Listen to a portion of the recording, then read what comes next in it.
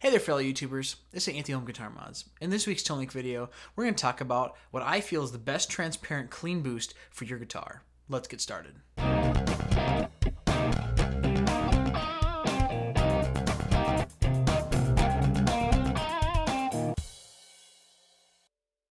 Right, so like I said, we're going to talk real short about what I feel is the best uh, transparent sounding clean boost uh, that you can possibly get for your guitar rig. Now, obviously, boost is is a completely subjective thing, uh, as with most things in guitar, uh, and really you're going to have to play around with what you feel best.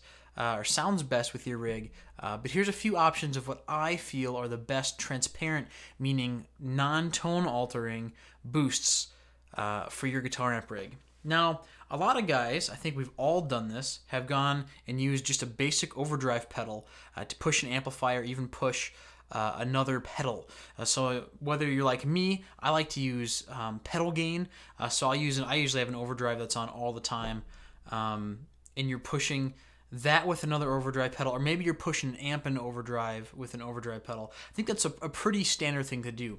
The problem is you're going to get the character of whatever pedal you're using uh, into your sound. So then comes what we call a clean boost, or just a, uh, and there's lo- there's lots of them out there. Uh, there's some that boost treble, there's some that boost your mids, there's some that claim to be clean, but they almost all have a sound to them. One that I personally use uh, is the Electro-Harmonix Linear Power Booster, or the LPB1. Um, this is not a clean boost. It is it it's clean uh, to an extent. After a while, after you get the knob turned up, you will get overdrive from the pedal. But I find that this will boost when you have it lower, boosts some lows and kind of muddles the sound. When you crank it up, it boosts the trebles in the sound. It's not clean.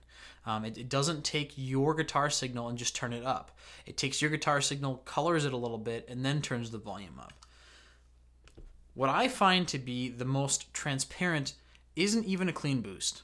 It's not uh, advertised as a clean boost. They're not advertised. Um, honestly, the best, the best of the best, is an EQ pedal, uh, in my opinion.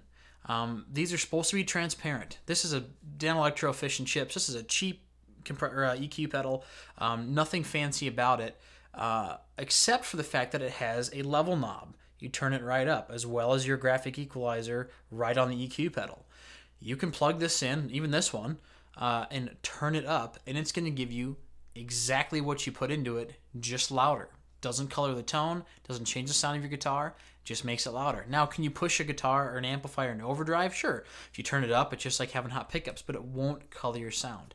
The other awesome part is you can shape with an EQ pedal, whether it's an MXR or a Joyo or a Mooer or uh, the, the many, many out there. Um, if you want a certain band boosted, you just turn up that amount. An EQ pedal is also a great thing to use in an effects loop. Another great boost, a compression pedal. Uh, who knew, right? This is the SP uh, com- compressor by uh, Xotic Effects. This is an amazing, amazing, amazing pedal, which we are going to do a review on and talk about because I think everybody should have one of these on their pedal board. But with this one in particular, uh, if I turn my blend all the way down, there's no compression in it, and I can get up to 15 decibels of clean boost. And again, this thing is incredibly transparent and clean. And then on the inside, there's some dip switches to either boost the treble uh, or take some lows out. But my absolute favorite pedal, uh, we've done a review of this already, is the Boss Line Selector LS2. This pedal has been completely, completely uh, um, unreplaceable on my pedal board. You can do so many things with it, but one of the best parts about it is if you're not using it as a loop or whatever else, uh, if you just set it to mode like an A, like A bypass mode, you don't have to run a cord on it. Um, you just turn your A knob up. And when you turn the effect on, it boosts that volume and it's completely clean and transparent. Now, this is not to say that there aren't some great boost pedals out there. Uh, SP them or Xotic Effects, sorry, themselves have an awesome, awesome sounding clean boost. Um, there's there's a, a, few others out there. The TC Electronic Clean Boost, the Mini they just came out with. Uh, I think it's called the Spark. That's a very very transparent clean boost. Um, but I think you can do better. You can buy a pedal or different pedals uh, that'll do more than one thing and still give you great, transparent clean boost. Now, if you're like me and you don't mind uh, different things being being accentuated or, or brought up, or even like for myself, I kind of like that this one boosts the trebles when I'm you know going into a lead line. That's the thing to use. Anyway, this is Anthony Home Guitar Mods.